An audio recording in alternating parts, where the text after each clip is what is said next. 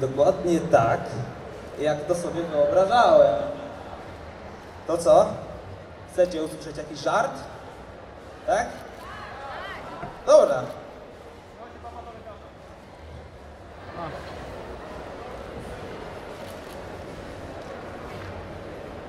Niech będzie ten.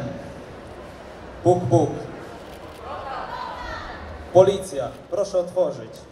Pani syn został potrącony przez pijanego kierowcę. Nie żyje.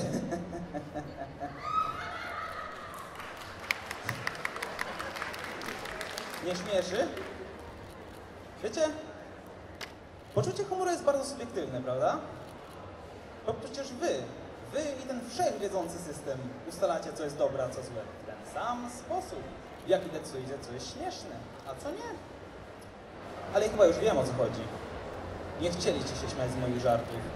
Zaprosiliście mnie tutaj, by się pośmiać ze mnie. No skoro wam się podoba, to może kolejny żart. Co otrzymacie, kiedy połączycie chorego psychicznie człowieka ze społeczeństwem, które ma go gdzieś i traktuje go jak śmiecia?